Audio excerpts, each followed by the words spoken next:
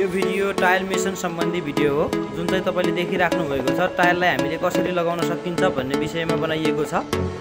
जुन चाहिँ तपाईँले तलको सर्फेस तयार पारिसकेपछि टाइल स्पेसरहरू लगाएर टाइललाई चाहिँ एउटै लेभलमा कसरी लगाउन सकिन्छ भन्ने विषयमा देखाइएको छ।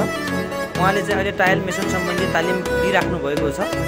तालिम लिँदै गर्दाखेरि कसरी चाहिँ हामीले टाइल मेसनहरू चाहिँ लेभलिङ मिलाएर चाहिँ एउटै लेभलमा लगाउन सकिन्छ भन्ने विषयमा अथवा तपाईँले चाहिँ कुन कुन टुल्सहरू प्रयोग गरेर टाइलहरू लगाउन सकिन्छ भन्ने विषयमा छलफल भइराखेको छ। र देखिराख्नु भएको छ उहाँले चाहिँ स्प्रिड लेभलको माध्यमद्वारा लेभलिङ गरेर चाहिँ हाम्रो तिस सेन्टी बाई तिस सेन्टीको टाइल भित्तामा र साठी सेन्टी बाई साठी सेन्टीको टाइल फ्लोरमा लगाइराख्नु भएको छ।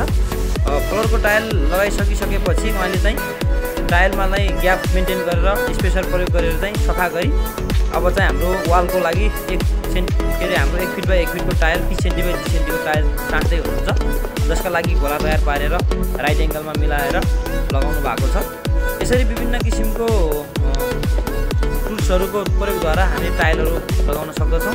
तपाईँ पनि यस्तै किसिमका सिपमूलक तालिम सिकेर वैदेशिक यात्रा सफल पार्न चाहनुहुन्छ भने हामीलाई सम्पर्क गर्न सक्नुहुनेछ र हामीसँग जोडिनु भयो भने विभिन्न किसिमका सिपमूलक ज्ञानहरू सिक्न हुनेछ।